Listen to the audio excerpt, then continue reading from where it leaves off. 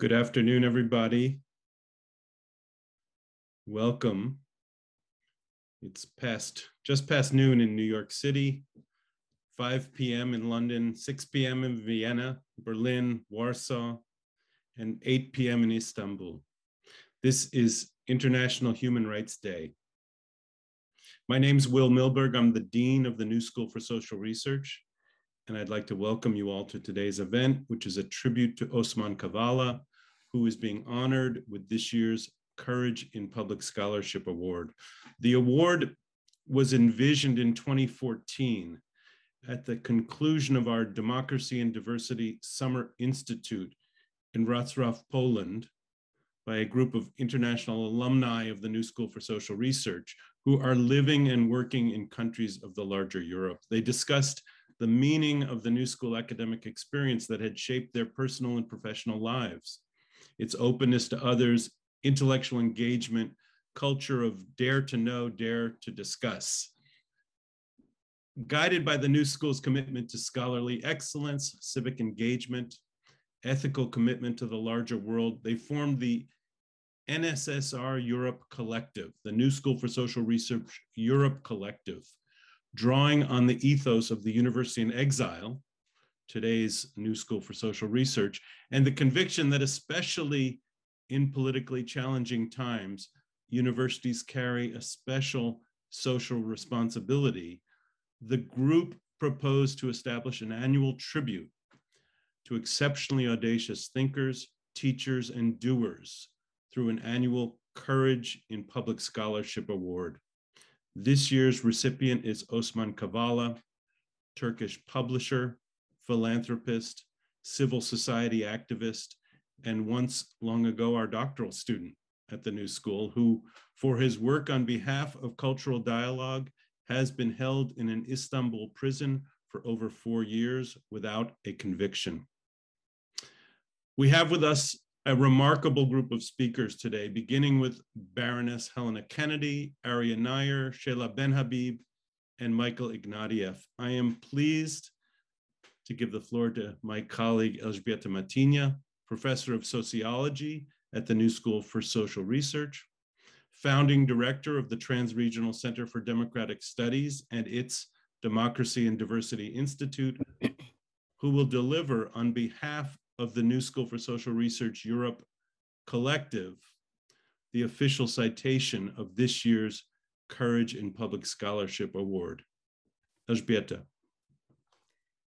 Osman Kavala, a Turkish entrepreneur and an advocate for peaceful solutions to deep-seated conflicts, who envisioned ways of bridging divisions, building trust, and thus lessening social despair.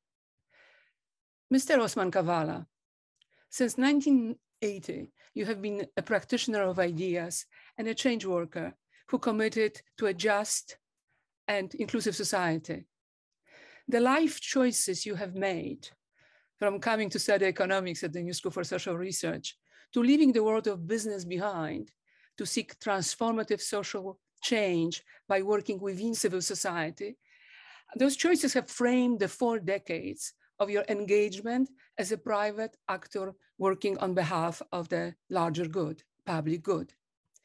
Your early decision following the military coup in 1980 in Turkey to take part in the founding of the İletişim uh, publishing house was crucial. It brought to the Turkish public major literary works along with books in the social sciences and humanities that helped to alleviate a sense of fear and isolation. Indeed, it was the İletişim Publishing House and other independent publishing initiatives that you launched that helped to maintain societal resilience vis-a-vis -vis the dictatorship, and to lay the groundwork for a resurgence of democratic practices and institutions.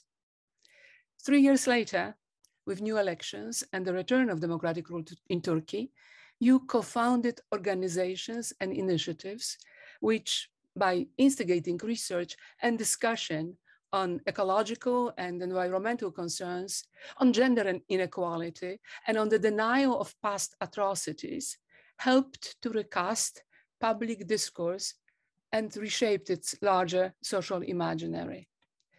Your personal engagement in the after, aftermath of the catastrophic 1999 earthquake make you attentive to the related vulnerabilities of both ancient material culture and the current social fabric of communities. Osman Bey, convinced that the language of arts has the potential to bridge cultural, political, and generational divides, and thus to mitigate violence, you created Anadolu Culture. As Turkey straddles Europe and, uh, and Asia, Anadolu Culture has created a thick, flexible fabric of cultural and art spaces that extend throughout the Europe and beyond. It nurtures local artists and their communities, connects them to other regions, embraces refugee communities, and creates collaborative opportunities between West and East. It is this habitat that pushes the boundaries of how one sees the world. It is here that encounter, dialogue, and sustained conversation have found a home. It is here that the exchange of stories and the opening of doors to the worlds of others take place. It is here that Greek and Turkish communities of Cyprus found ways to talk, and that Armenians and Turks enter into, albeit uneasy, collaborative projects. The square of dialogue that you help to envision is imbued, as you are, with a sense of responsibility for public matters and a spirit of hospitality and solidarity towards others.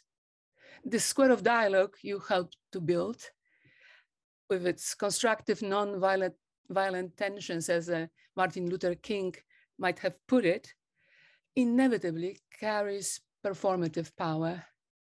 But today, in many parts of the world, it is increasingly silenced and often simply shut down by a widening counter-revolution led by elected authoritarian rulers. Dear Osman Bey, you yourself have paid an extraordinary price for opening up the past and the present and creating an infrastructure for a kind of world we would like to live in. You are widely admired. And as you know, you have many friends and people who love you. We commend your intellectual resolve, your imaginative work, and your persistently high spirits in which you bring us together. I'm pleased to be speaking here on behalf of our NSSR Europe Collective, which is proud to confer upon you 2021 Courage in Public Scholarship Award. I'd like to add that uh, the award itself uh, is a sculpture entitled The Conversation, one between Socrates and Eros, locked in a never-ending attempt to reconcile love and wisdom. Sculpted by a Polish artist, Tadeusz Włodarczak, from Turkish Afyon marble, the word draws its inspiration from the history of Ephesus. It is great honor to have with us today Baroness Helena Kennedy, Labour member of the House of Lords and one of the Britain's most distinguished lawyers.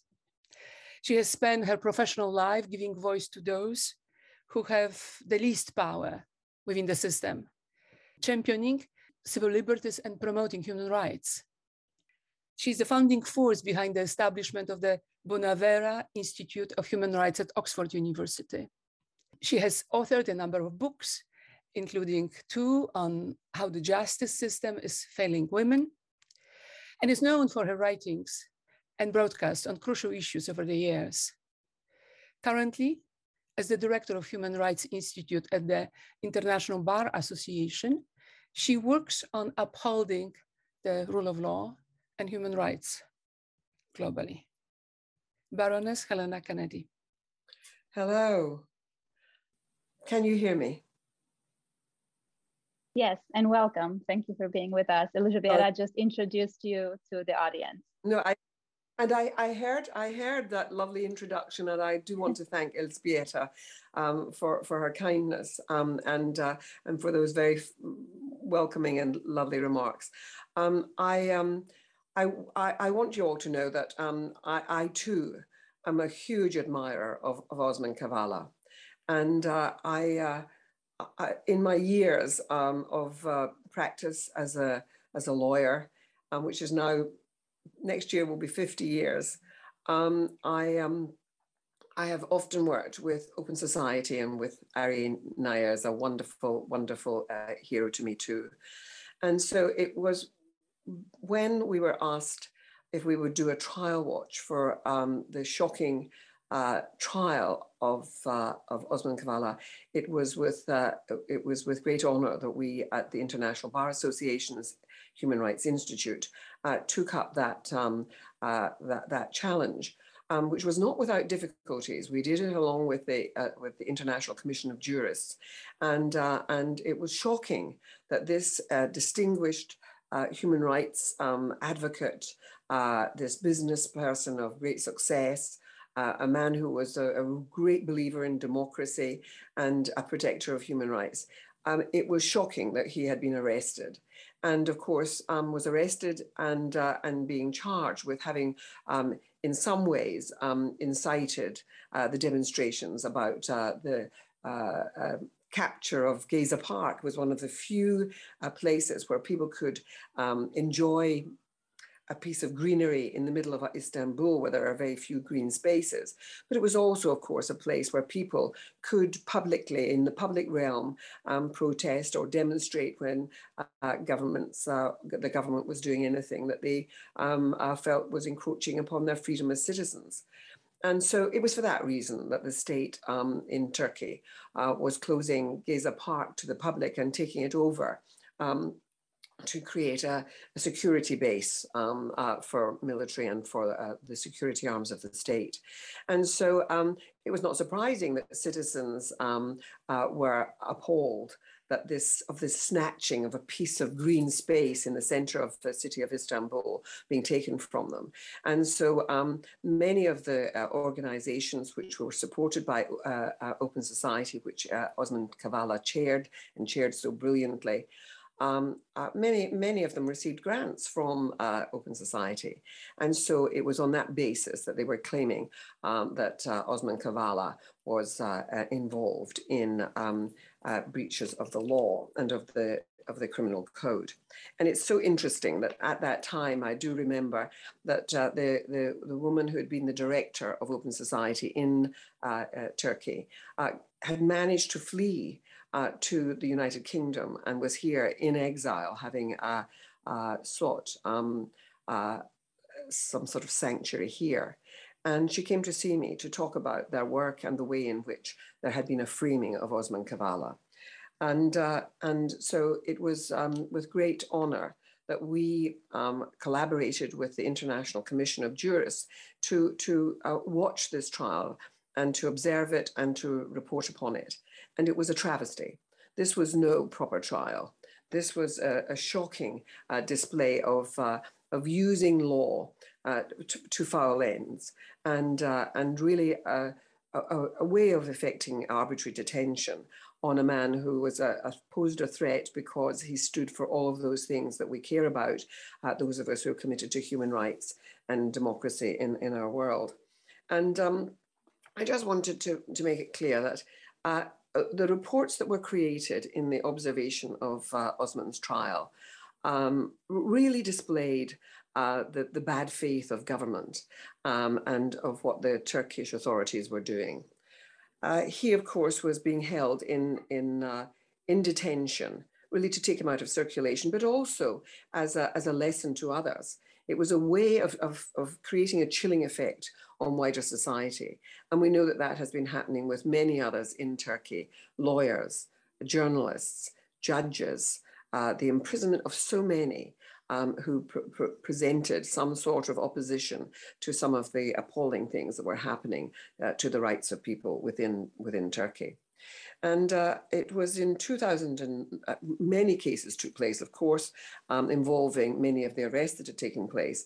But with regard to Osman Kavala, after he was arrested in October 2017. Um, and of course, the, the, allegation of attempting to overthrow the government was just uh, uh, preposterous. Um, uh, and claiming that it was he was in some way acting in a way that was preventing the government exercising its uh, its proper functions well. If uh, if taking over the one green space in Istanbul and and uh, and not permitting some kind of protest against that was uh, uh, overthrowing the government or encourage, encouraging in some way um, the government people to prevent the, the government's functioning was was really a nonsense. But it was. Um, it was really in with regard to that that an action was then taken to eventually to the European Court of Human Rights. And the way that that operates is that you have to um, um, exhaust your remedies within the domestic courts. And so um, those remedies were exhausted, and it was quite clear there would be no remedy for Osman Kavala within the Turkish uh, court system. And, uh, and so on the uh, uh, 10th of December 2019, the European Court of Human Rights ruled that his detention was unlawful, uh, it contravened Article 5 of the European Convention of Human Rights. It con contravened um, the, the, the, the, entitlement of people to a speedy trial because, of course, there was delay after delay after delay, and often um, making it impossible for, at short notice, for people to get to uh, be to conduct the trial watches. Um, and it was in the ruling of the European Court of the European Court of uh, Human Rights that they said that there was clearly an ulterior purpose um, in, uh, and it was to silence um, someone who was a great human rights defender. And that, that is what was happening. And it's the source of, of, of anxiety for all of us, I'm sure, that as we look around the world, you know, there is the COVID pandemic, but there's another pandemic, which is the, the, the kind of um, spreading of authoritarianism in so many nations around the world and, and the undermining of human rights uh, uh, is now becoming a commonplace. And protecting and preserving human rights is even more of a challenge for, for us all. Um, we've recently, again, uh, seen after that ruling um, back in 2019, as you know, um, uh, he was immediately rearrested and, uh, and recharged. And uh, this time the, the allegation was that he had um, uh, was in fact um, seeking to overthrow the government, um, and uh, and what has also happened is that there has been a merging of his case with sort of mass demonstration cases, often involving football demonstrators who were upset, I think, also in relation to the Gezi Park closure, where often um, it was used for, for um, leisure purposes by people who were um, keen on football. But I mean, there have been a merging of a whole lot of cases, and he has been drawn into that, which of course causes greater delay um, and injustice for Osman Kavala. Uh, he's been in custody for four years now. And, uh, and only a matter of days ago, on the 3rd of December, uh, the European Court of Human Rights again um, has made clear its position um, that uh, Turkey is now um, failing to implement rulings. Um, and they have uh, given notice that they're going to start infringement proceedings um, uh, against Turkey. And that was agreed by a two thirds majority. And so uh, um, now the Turkish authorities have until uh, January. Um, the 19th of January is the, the date by which they must um, file a response to that. And, uh, and it does give serious powers. The only time this has been done before was in relation to Azerbaijan. And, um, and in that case, again, there was, a, there was uh, unlawful detention and it led to the um, release of the uh, of the detainee. And so we have to just hope and uh, and hold it to our hearts that that the European uh, Court sticks to its guns, um, that the, the, Council of Europe sticks to its guns in in in extending these um, uh, uh, these sort of serious um, uh, um, proceedings against Turkey, and that we have to now hope that Turkey sees that um, there is the, the, international community is really standing up against what it is doing. Um, to speak of Osman, it is wonderful that he's receiving this award, and I'm so I'm so thrilled that he's being honoured in this way because we need to give sustenance to him in his in his place in custody. He needs to know that the world out there is watching. He needs to know that um, even beyond Europe, that that in the wider world, that he is seen as being someone who is a heroic speaker for truth and for um, the protection of rights. And, uh, and so I really want to add my voice in expressing my admiration for him, for his stoicism, for his uh, leadership, and for the role that he's played. And uh, I want to thank um, all, all of you who've played a role in getting this honor uh, for him. And I want to play, uh, say that I want to um, express my eh, eh, great admiration for Open Society, um, which does such powerful and important work around the world. Um, and so um, uh, we're not living in good times, um, but we must together um, keep our voices loud and clear on the issue of human rights. Thank you.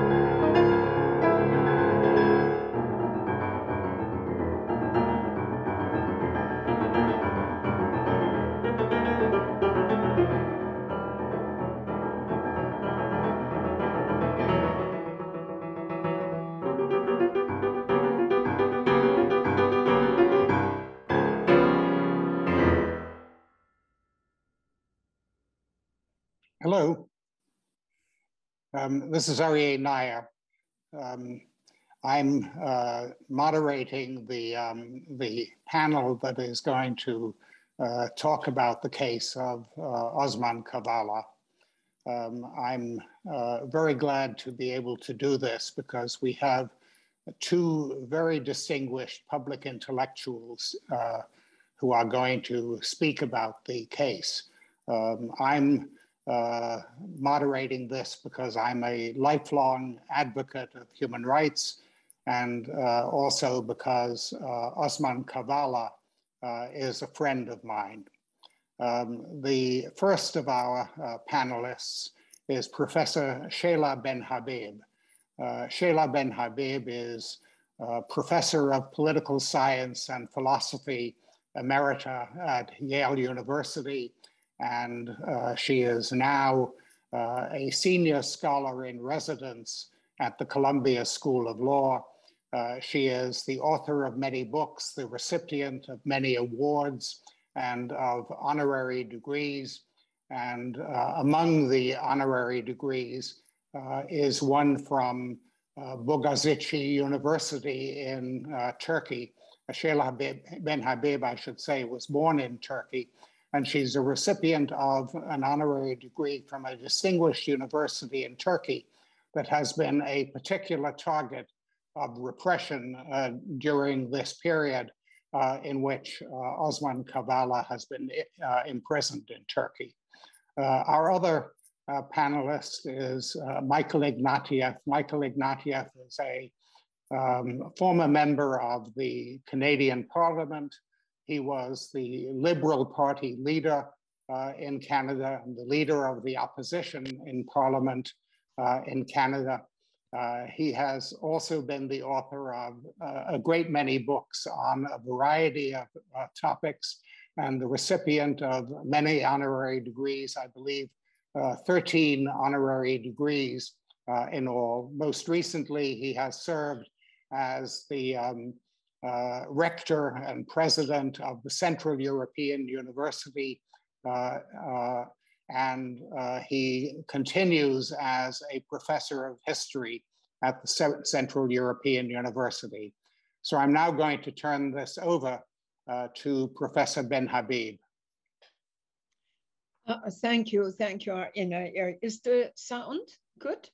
Uh, can you hear me properly? Yeah. Yes. Well, I'm really honored to be participating in this um, event, in this beautiful event. And I also want to give a shout out not only to Osman uh, himself, but to his wife, Ayşe my classmate, who has also suffered with him this last uh, four years. Osman Kavala engaged in civil society activism during a period when it was assumed by many inside and outside Turkey that the election victories of the AK Party signaled an emancipation of Turkish civil society from the authority of the tutelary, bureaucratic, and nationalist uh, state that had governed Turkey for decades. Osman advocated embracing the multicultural legacy of the Turkish Republic, the remembrance of a past in which Armenians, Greeks, Kurds, Alevis, Jews, and Circassians left their monuments, their songs, their cuisines, their memories engraved throughout the land. If the French historian Ernst Renan believed that living as a nation meant on doit avoir oublié, one is obliged to have forgotten, Kavala represents that moments in Turkey's past when the democratization of the country would have required re remembering and coming to grips with its history. For some brief years from 2003 onwards, it seemed as if this is also what the AK Party was advocating. But it would soon become clear that the so-called process of civilianization, sivilleşme, in part initiated under the pressure of accession to ca candidacy negotiations with the European Union, was rather a move to remove from the Turkish army all those who would not follow President Recep Tayyip Erdogan's agenda. There were mind-boggling absurdities in the so-called Balyoz and Ergenekon conspiracies that accused high-level generals in the Turkish army with treason and staged coups. Subsequently, the murder of the Armenian journalist Hrant Dink made it clear that the AK Party's short ride on the train of democracy had come to an end, a phrase used by Erdogan himself. I ride the train of democracy to a certain station and then I get off. Now, the irregularities in Osman Kavala's detention, the charges brought against him, and the absurdities of his trials and retrials are a clear indication that Turkey is no longer a country that respects human rights and the rule of law. The preliminary charges uh, brought against Kavala were that, and Baroness Kennedy has gone over this, the vocabulary got very murky. Was it that he aided uh, or abetted? Was he involved in or played a major role in the 2013 Gezi Park uprisings. But added to these charges were supposed his supposed role in the conspiracies of the Fethullah Gulen organization of December 17 and 25, 2014, and the attempted coup of July 15, 20 16. I mean, I think that from any kind of human rights and rule of law perspective, it's clear that this is a smorgasbord of charges. And it's uh, embarrassing the way in which the government kept uh, piling up. Uh, you know that he was arrested on November 1st, 2017, under quite uh, grievous charges of attempting to overthrow the constitutional order through force and violence. But the first indictment against uh, Osman Kavala was issued only a year and a half later on February 19, 2019. Absurdly enough, the prosecutors sought life imprisonment for Kavala, who was neither an organizer nor a speaker in the Gezi Park uh, protests. And as Baroness Kennedy indicated, it was this circumstantial evidence through Osman's activities in the Open Society Foundation that may have uh, funded some of the groups participating that the courts both, both uh, brought forward. Now, before Osman's lawyers went to the European Court of Human Rights, they had to go to the Turkish Constitutional Court as it is required under the terms of the European Convention of Human Rights. And I want to mention this because the Turkish courts know that they are implicated and involved in a charade.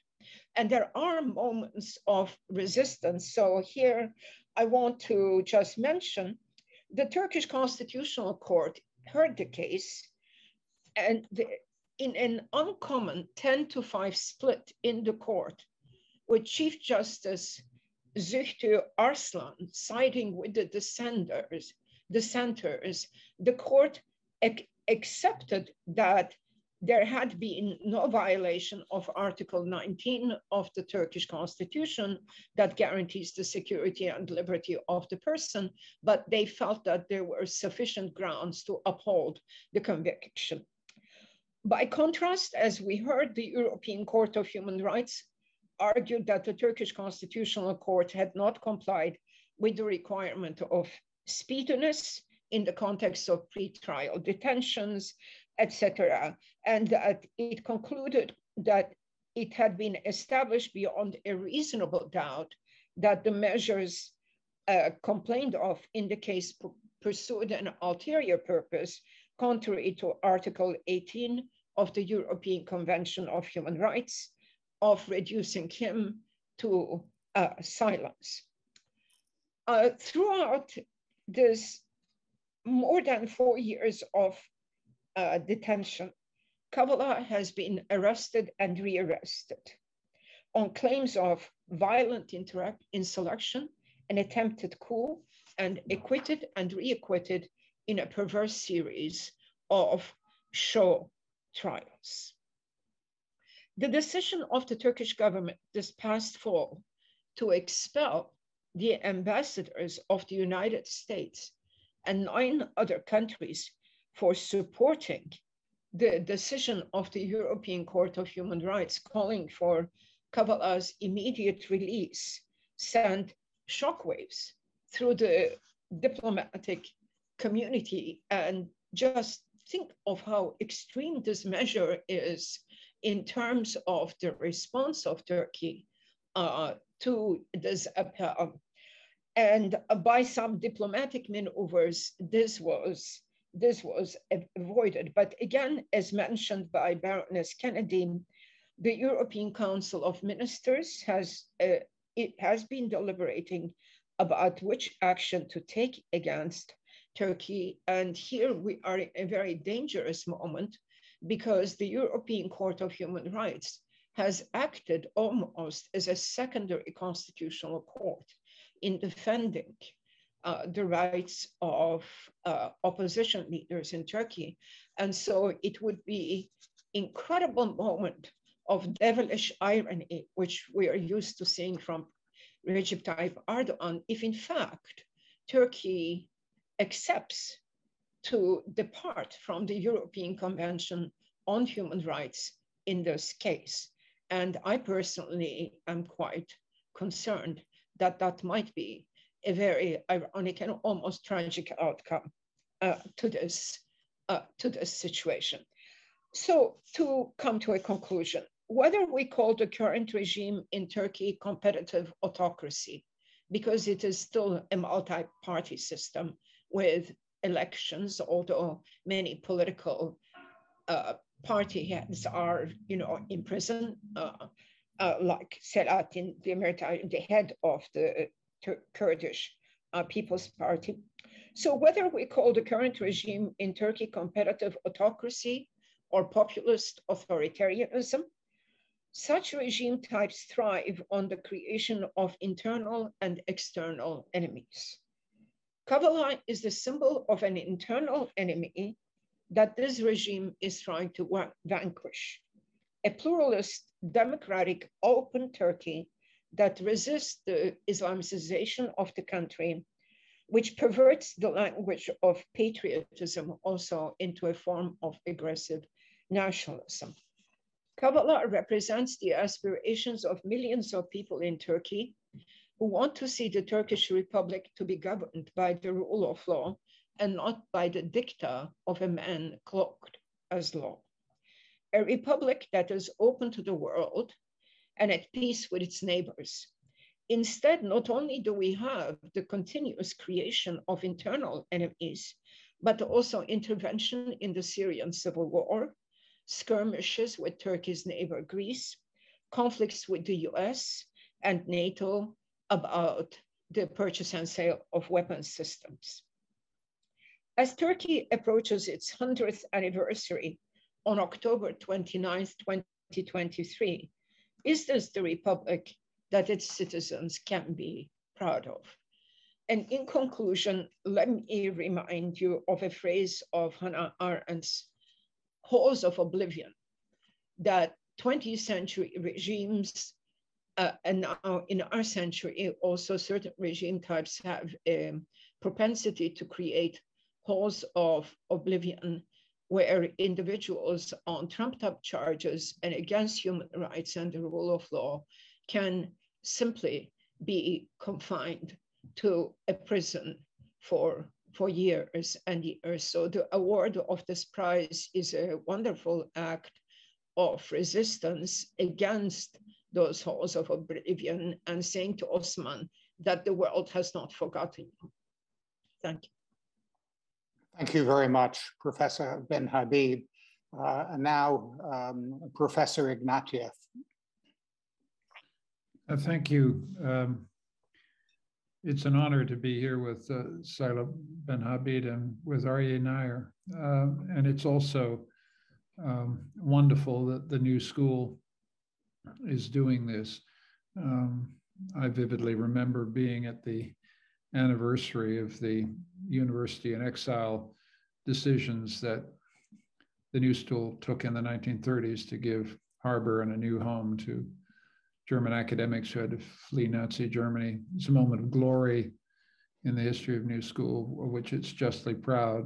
And in addition to that, the New School has taken a lead role with wonderful people like Arien Mack and others and uh, Will Milberg also uh, in um, supporting the idea of, of um, scholars at risk and scholars in exile. And there are so many of them now. And Osman is one of them, a scholar not only in exile, but in prison. Um, that New School is, is maintaining a, a, a very moving affiliation and continued allegiance to a tradition that is one of the glories of American higher education. So that's the first thing to say. Uh, the second thing to say is just personally, I think we all feel this kind of wish we could just, I don't know, speak directly to Osman and give him a hug. You know, just I, I wish our words could reach into the prison and give him comfort because all I know about prison is it's very lonely. Um, his resilience is astounding.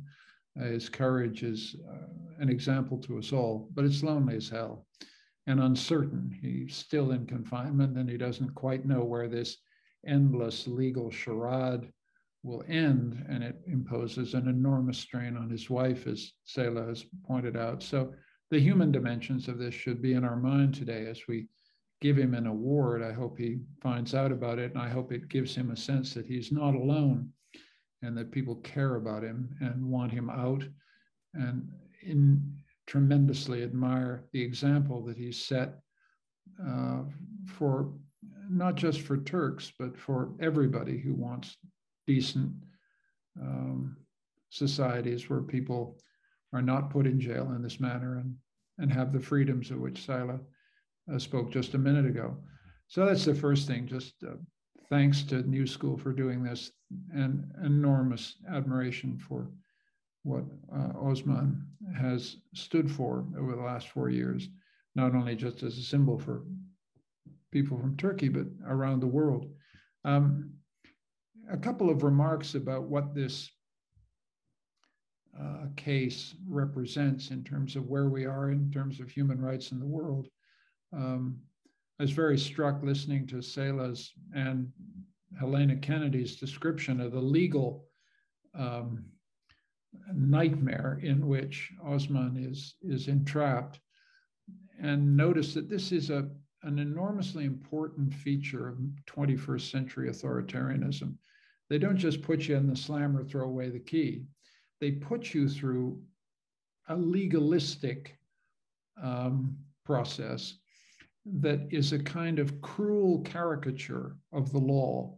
It looks like law, sounds like law, they use the language of the law, but it has nothing to do with the law. It's pure political arbitrariness using the cover of the law to conceal its true intent, which is to crush um, a courageous dissident whose moral example uh, strikes fear and anxiety in authoritarian regimes. But this contrast between rule of law, what law ought to be, and this legalism, legalism is, is being shown up here for the fraud uh, that, it, that it truly is. This strikes a very familiar chord to me because when Central European University was thrown out of Budapest by the Orban regime in 2017, they used uh, this exact form of legalism. Uh, the legislation that was passed to get rid of us was looked like law, sounded like law. It went through Parliament in a week, but it was a case of piece of pure political arbitrariness masked as law. And this, uh, this aspect of the Osman case is, I think, uh, of much wider um, uh, influence around the world. Lots of these regimes are doing, are using law in this cynical um, uh, way to to hide the pure arbitrary exercise of, of power. Um, another remark that I would make about this uh, is that we have to look squarely at what uh, Erdogan's um, defiance of international opinion is telling us about the state of the world. It's really something when he throws uh, 10, I think it's 10 ambassadors out of his country because they dare to make a comment about the international human rights implications of, of a domestic action. It's really something when um, someone who has been part of the European legal architecture uh, for a long time uh, simply uh, sets the European Court of Human Rights at defiance and sets the um, Council of Europe at defiance. Uh, that signals the ways in which Erdogan has simply abandoned any uh, expectation of ever um, getting into Europe or even desiring to be in Europe. Um, his, his indifference to international pressure here uh, from NATO allies, from trading partners, is a very significant and uh, worrying uh, development. Um, he is either drastically over exaggerating his power and his capacity to um, uh, control his domestic circumstance, um, or he's making a catastrophic strategic mistake, and only time will tell.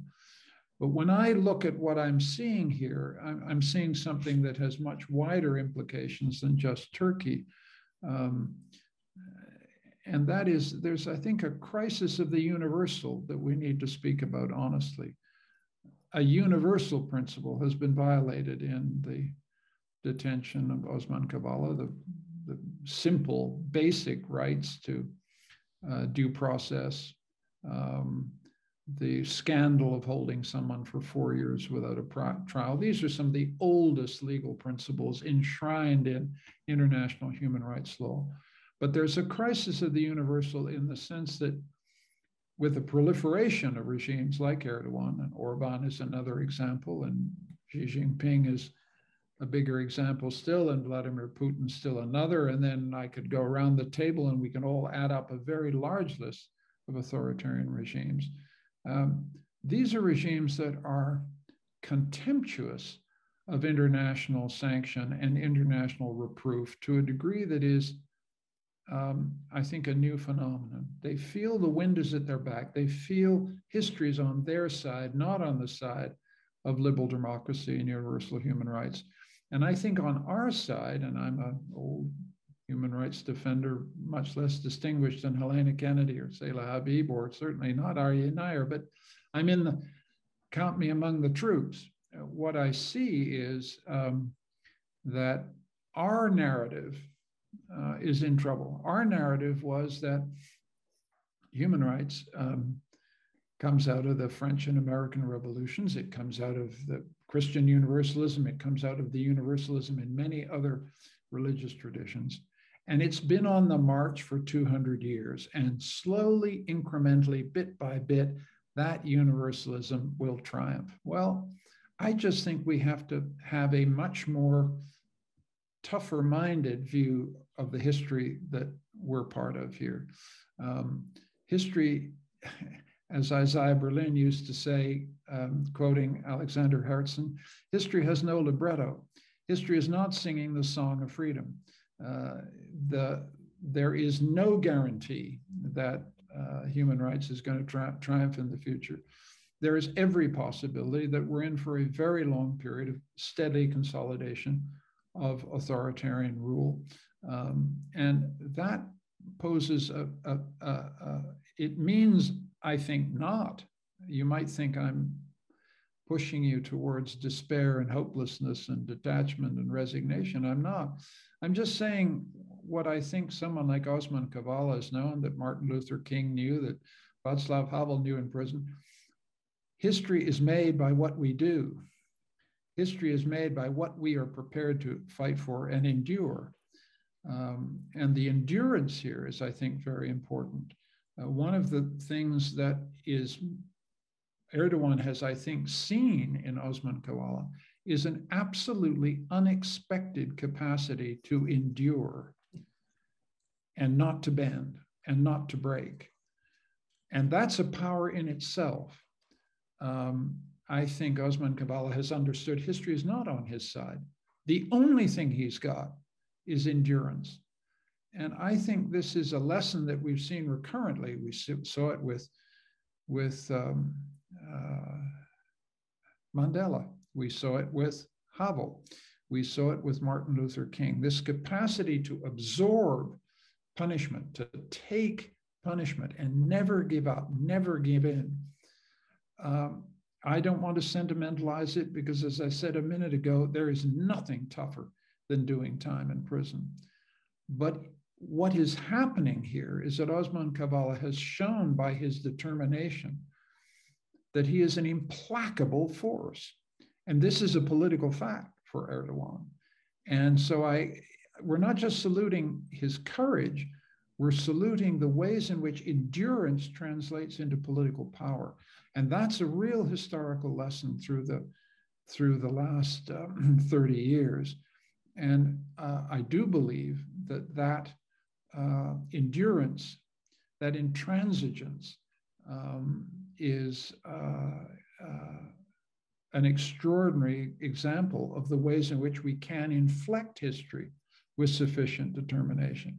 I've gone in longer than I intended because I'm moved by this moment and um, want to affiliate myself so strongly with what has been said today. And I hope we can have a bit of a discussion. Thank you so much. thank you very much, Michael, and thank you very much, uh, Shayla.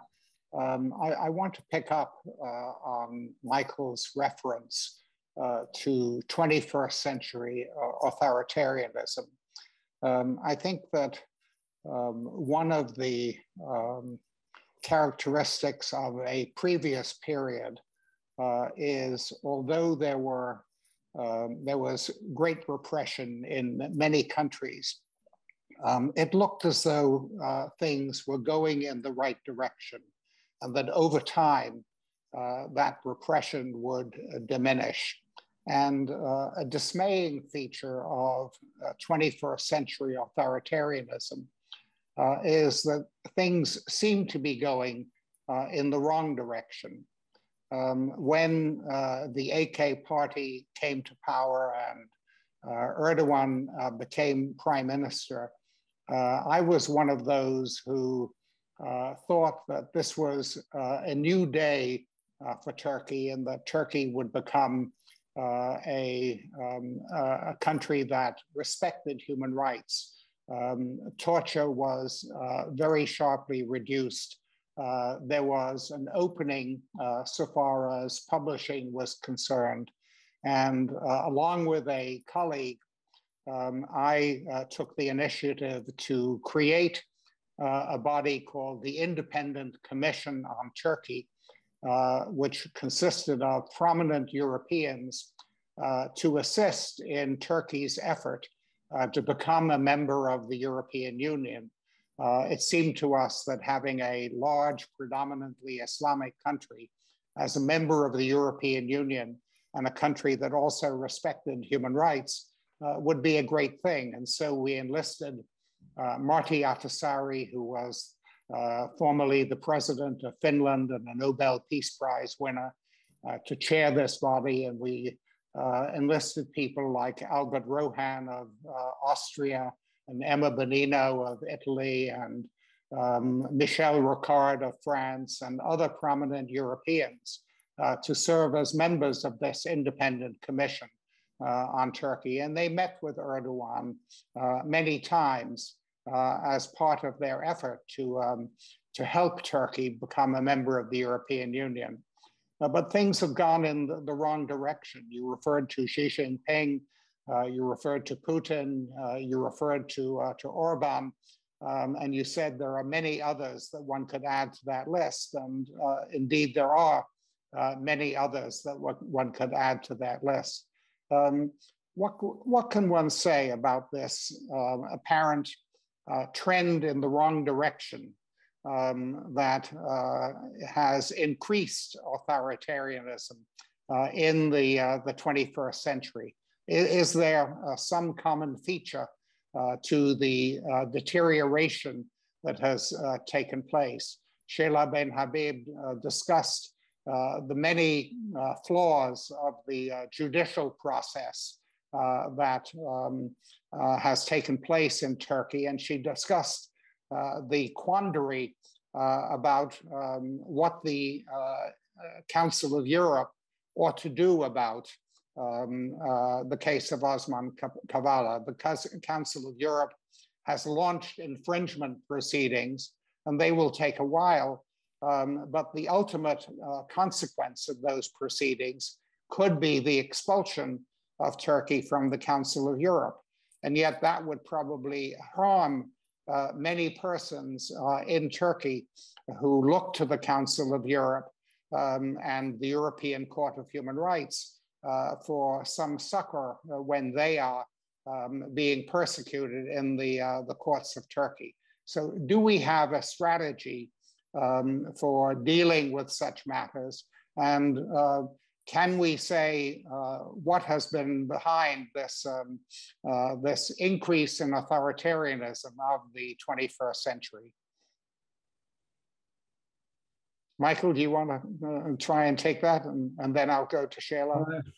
I'm glad you've asked such a small technical question, uh, Aryeh, and it just, um, look, we're dealing with a, um, a wave which has many different causes. I, I know a little bit about the Hungarian case, much less about the Turkish case, and we'll defer to Shayla about the, the Turkish case.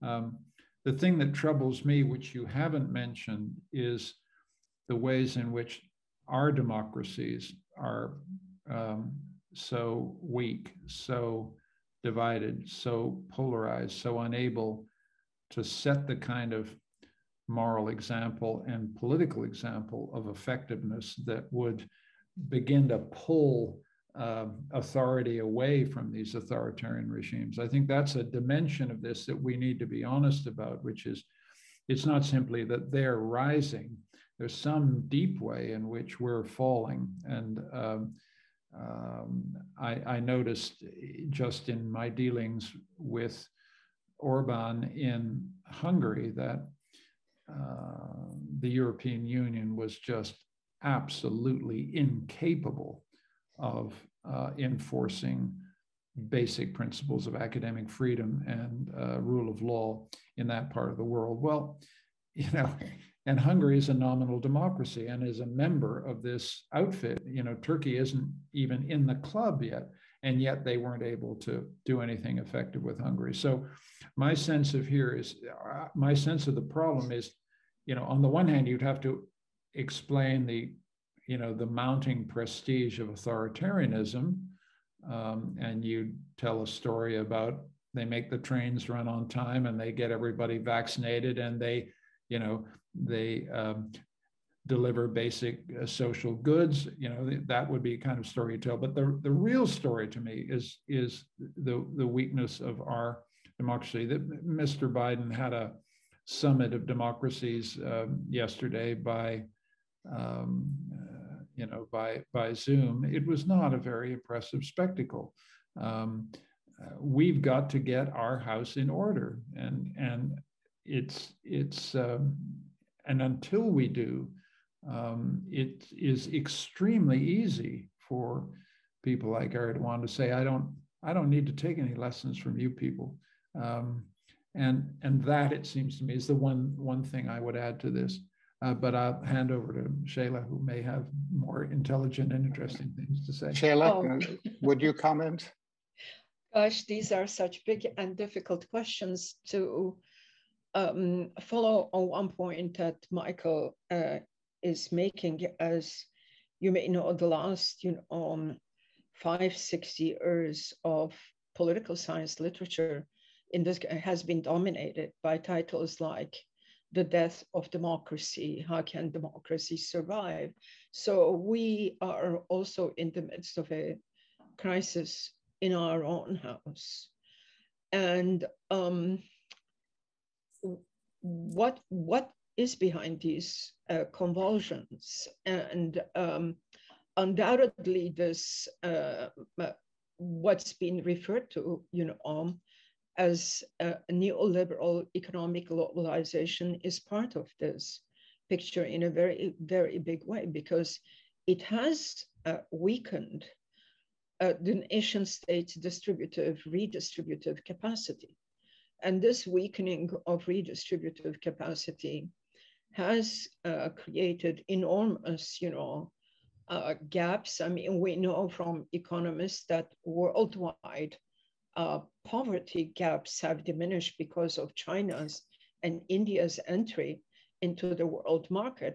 Whereas if you look at a country like the United States, uh, it, you know, uh, inequality has increased uh, in the last two in the last two decades. Turkey is part of this mix that it, it, that access to the world market together with Erdogan's Islamist redistributionism, if I may just invent a term that I haven't used before, has really helped um, the uh, small town folk, the, um, let's say, a, a farmer who owned, let's say, three to five acres of land, they have improved their class status. They have become part of a, bourgeoisie, uh, these people are uh, um, pious. I don't want to call them Islamist, but they are pious Muslims. and they are Erdogan's support base. And um, the urban, um, uh, there are urban groups also that have benefited tremendously uh, from Turkey's um, open access to the world market. I mean, one thing about Turkey is that it's a very rich country in resources and it's a, it's a big country with its own internal market. And the current um, world situation, sorry, I find myself talking about political economy here, but the current world situation is so confusing that look at what ha was happening to the Turkish lira uh, last week. And then Turkey signs 15 agreements with the king of Qatar and then all of a sudden the value of the Turkish lira changes. So this is the multipolar world. And uh, I think in the multipolar world, uh, there are um, ways in which authoritarian regimes know how to cooperate with one another. And in that sense, Erdogan is a very interesting player because if the United States upsets him, he immediately calls Putin up, he goes to China, and China, of course, is bailing out even a country like uh, Greece in certain ways. So we are dealing with a very complex world political economy, plus the, the decline of um, influence of the United States because of the rise of authoritarianism in in our own uh, country. So this is um, this is a, a picture uh, where um, um I I think um, it, it's in some ways quite quite unprecedented, and uh, I'm very struck by Michael's. Uh, philosophical phrase, and I'll have to think about this. I like this phrase, the crisis of the universal. I think that that is really uh, that is really at a deep level a very very compelling uh, compelling phase. Joining the world neoliberal global market does not mean respecting universal human rights. They mm. just don't go together, and this is a lesson that we are learning. I don't know how we can prevent. Uh, I'm sorry, I'm going on a little too long, but let me just please go on. I just want to say one thing. How can we prevent um, Erdogan just basically saying to the uh, European um, Court of Human Rights, okay, this is what you want. You've put me up against the wall. I walk out. Are there forces in Turkey who would argue against this? I think there are. I think there is a strong professional honor among Turkish judges and lawyers and um, some sectors of the military. I think among uh, academics who resist and resist the encroachments and the uh, uh, uh suffering that they have been that has been brought upon them. I think uh, doctors, uh, you know, and an extremely a diasporic good academic community. So I don't believe that this will go without any resistance, but I think maybe one has to know how to how to try to appeal and make inroads into this what I call the sense of sort of professionalism and a kind of professional uh, professional honor that's so so important in in Turkey. Um, Professor Benhabib, you you uh, uh, referred to the difficulty uh, of uh, whether to um, uh, or how the Council of Europe ought to react to to this situation. I think it's Article 90 of the Turkish Constitution which requires Turkey to um, uh, uh, defer to the um, judgments of international treaty bodies such as the Council of Europe. And so, in failing to follow the um, the order of the of the European Court of Human Rights to release Osman Kavala, Turkey is violating its own uh, constitution. Uh, but for the Council of Europe, uh, this presents a, a, difficult problem because if they go forward uh, with this infringement proceeding, uh, they could end up suspending uh, Turkey or expelling Turkey from the, the Council of Europe. And is that something that would be harmful or is that something that would be helpful? It seems to me a very difficult question in my opinion, it would not be helpful. In my opinion, it would not be helpful. And I do hope that some other solution uh, can be uh, can be found. And my own reading of Erdogan's psychology is that uh, he is extremely agile in finding alternatives just when you think his back is against the wall. So I believe there has to be a, a way in which this could possibly be brought to some resolution while he can save uh, face. Mm-hmm. Um, would he accept Osman receiving an offer of asylum from a European country? There are many, many brilliant Turkish journalists who have received asylum offers from European countries who are there. You know, I'm just, would this be, would this be a possibility? Would this be a possibility? But here I'm thinking of something that Michael said, that endurance is Osman's strength. And I don't think Osman ever thought of himself as someone like uh, you know, Martin Luther King or Mandela. He's just been put into the situation, but he has shown an incredible backbone and stoic resistance. So, diplomatically, is there a way to get Osman out of prison while also, you know, having Erdogan safe face for another couple of years or something, you know, hoping that the Turkish people get rid of him in due course. So Martin just... Luther King and, and, Mandela were leaders of protest movements. Osman was never uh, the leader of a pro protest movement. He was a philanthropist um, aiding um, cultural expression in Turkey and um, concerned particularly with, uh, with minority rights uh, in uh, Turkey but I don't think he ever thought of himself as the leader of a movement. Um, uh, the fact that he has become the victim uh, of this kind of persecution is uh, not something uh, he could have anticipated. Uh, Mandela and, and, Martin Luther King, uh, I think, were in a very different category than, than Osman Kavala. I think that's true, but I and I, I, I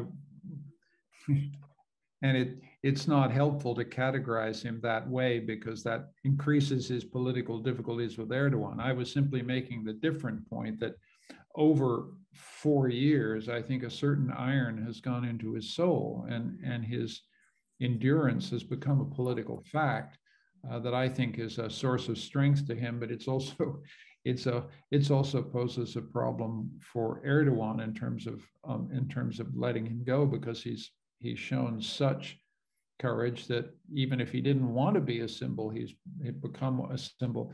The, to me, it looks like personal vindictiveness uh, on the uh, the part of oh. Erdogan. He was acquitted uh, and then uh, walking out of the court and rearrested yes. on entirely uh, different grounds. And that looks as though uh, there was a personal vendetta against Osman by, by Erdogan. Yeah, I'm a little surprised by the ways in which we focused almost entirely on Europe being the only place where the lever, leverage can be exerted. And I, um, I, I, don't think we should forget the United States. I mean, they're they have very strong bilateral ties through NATO. I'm very skeptical that um, Europe will go to the lengths of expulsion or even suspension. Uh, I think they um, the, the record of the European community actually enforcing legal judgments here is is so it, it's just clear to me they're they're they're not going to uh, go there. It may be, in fact, that the best chance of getting him out is just very very quiet um, multi-track diplomacy uh, that allows Osman to get up to accept a a position somewhere in Europe or somewhere in the United States, uh, and it all. Uh, but I, I, I suspect that uh, that's that's also going to be very, very, very, very difficult. Yeah. Um, Aryeh, we have really, among friends, uh, Turkish friends, and so on, we have often raised this question about a personal vendetta because it has reached a point of international embarrassment, uh, truly. And, um, you know, one has been asking oneself, why, with, as you mentioned, why would someone without a social movement uh, behind him uh, uh being uh, uh, confined in this way and the absurdity of the charges against him. I think this is known, you know, uh, by quite a few, quite a few um, people. I mean, the Turkish public sphere is very active, and there's quite a lot happening. So, I think part of the my analysis of the internal enemy, okay, the creation of an opponent of the regime upon whom the exercise of power augments your own power. I think that that is the that is the the psych the psychology. There's also a kind of you know there's a Turkish uh, word that's very hard to translate. The phrase is gözdağı vermek. It is like it's almost as if you you uh, you challenge someone's courage, uh, you intimidate them by setting them a kind of, by showing them the mountain almost. And um, eh, since Erdogan himself is a very folkloric character or a character who is also very close to some of the top tropes of Turkish cultural history, you know, it's as if um, he is, yeah, this man is, is an example uh, of what can happen, what would uh, what would uh, happen. So uh, there, it's a certain way of exercising power. And it's both, you know, I think Michael was saying it's both generalizable and it's also very, maybe it has this dimension of a kind of Turkish authoritarianism that comes from the legacy, you know, um, of the Sultan or something, you know, just, but it, it, truly, we have often wondered about about the the uh, the political psychology behind uh, behind this whole behind this whole affair. I think that's a very important comment. Um, uh, I think trying to understand the motivation uh, of the um, the Turkish government and Erdogan in, individually uh, in holding uh, someone like Osman uh, as a prisoner uh, is very important to, uh, to efforts to try to, to free him. my own view is that um, ultimately we're not going to be able to diagnose um, Erdogan, um, but that events like this, in which we demonstrate that in prison for more than four years. Uh, Osman is not forgotten, that he is uh, celebrated um, uh, by um, uh, people in different parts of the world, uh, that the, um, uh, the liberal um, thinkers in the United States and in other countries remain very much concerned with Osman is really the, the most we can do and the best we can do uh, in trying to um, uh, secure his release. Obviously, we have to pursue the, um, uh, the legal remedies such as they are, um, but um, Erdogan is intent on uh, defying the, um, uh, the rules uh, that apply in such matters. And so just making um, certain that uh, Osman is not forgotten, that he is um, uh, high on the, um, the agenda uh, of those concerned with rights worldwide uh, is a critical part of the effort uh, to try to, uh, to free him from prison. I think we're, we're running out of time. I think this has been an immensely interesting uh. Professor Benhabib, I want to thank you very much for taking part in, in this um, discussion.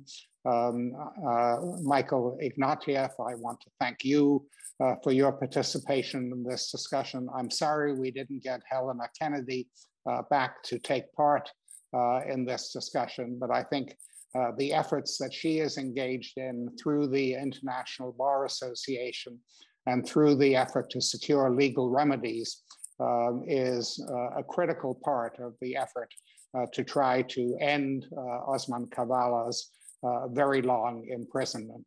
Thank you very much. Thank you, Aryeh. Thank you, Seyla.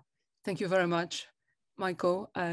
I wanted to add um, for the end one one contribution among Osman Kavala's closest collaborators were artists.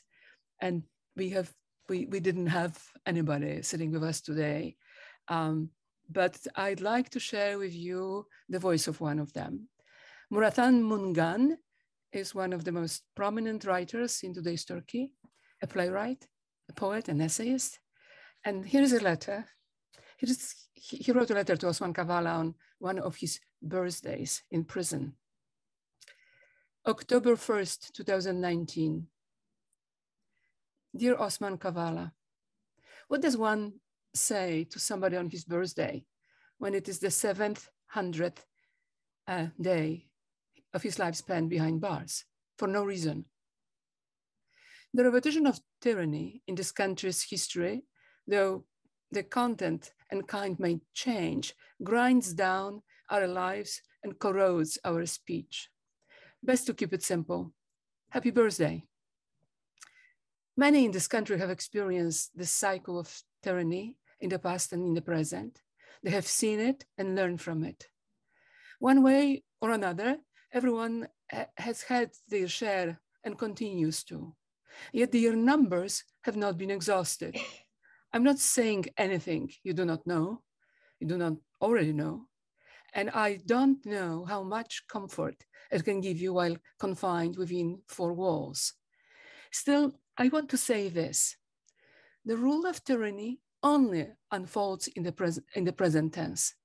All over the world, official history is brief. History generates a kind of exchange. Out of this present time that uh, they are stealing from you, they try to create a timeless tense. Maybe they think they have established a logia of time and can rule the era, but they cannot put themselves into a timeless tense. Time itself also has four walls, and it's they who are imprisoned there. What's real is history and the memory of the other. I would like to keep it timeless. The contribution of highest value that you have made to this country in all humility have long since found their place in the memory of others. The actions you have taken, your efforts, your contributions, have long since made you an asset to this country. As you know, what they try to wrest away from you and from others in your situation is not really your time. It is that which, despite all their power and position and wealth, they cannot never possess dignity. Because dignity is an asset of life that fans out from the present into timeless memory. It is earned, indeed, with, the, with time and patience, but it is very easily lost. It is something no one can take from you unless you lose it yourself. Four walls are not enough to hold you captive. May your birthday remind you of the ever living signature you have put into uh, to your life, not of the four walls where you are confined. Let me brief, be, be, let me be brief. When you get out, we'll have tea in Gezi Park. Promise? Murathan Mungan. I want to thank you, everybody. I want to thank you uh, here and people in Europe and people in Turkey, uh, in Istanbul, in Ankara. Thank you very much. Good afternoon and good night. Thank you.